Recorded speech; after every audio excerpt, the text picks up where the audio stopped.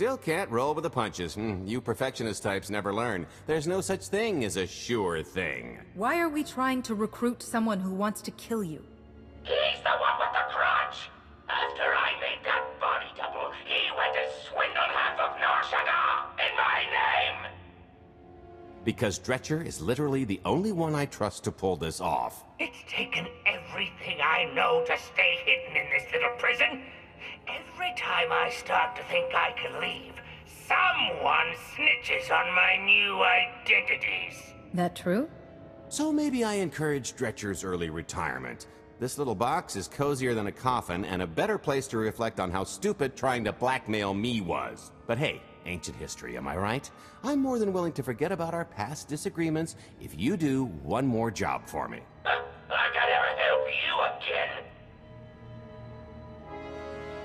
Listen, Dretcher. I don't know how much you know about life on the outside these days, but it's bad. If you want there to be something left to look forward to when you come out, I need your help. And if you think it's hard to live under the scanners now, just wait until the Eternal Empires fully stake their claim on the galaxy.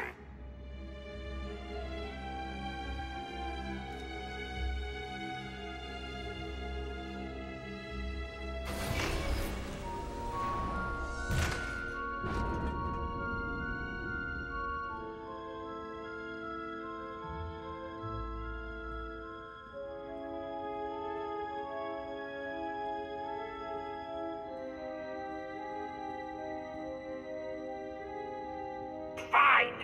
I'll do the stupid job. Sit tight, Dretch, and get reacquainted with the concept of hygiene.